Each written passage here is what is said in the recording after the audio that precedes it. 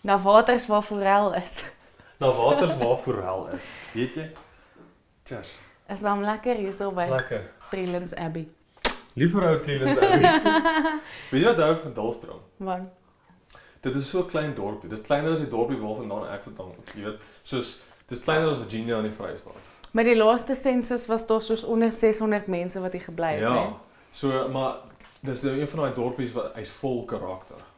En dan as jy nou net om die dorpie kyk, is dit net Voorheldam. Dis wat ek baie na uitsien. ek sien ook uit, ek sien ook uit.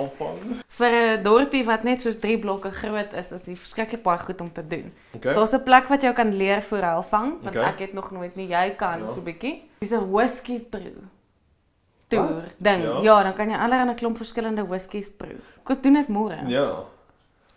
Hier's ook 'n bird of prey rehab center. En kyk of ons dalk daar kan uitkom voor ons huis toe gaan. Ja. Vir vanaand se ete het ons hoender sosaties in 'n soet marinade. En dan het ons 'n worsie wat gevul is met kaas en 'n spek.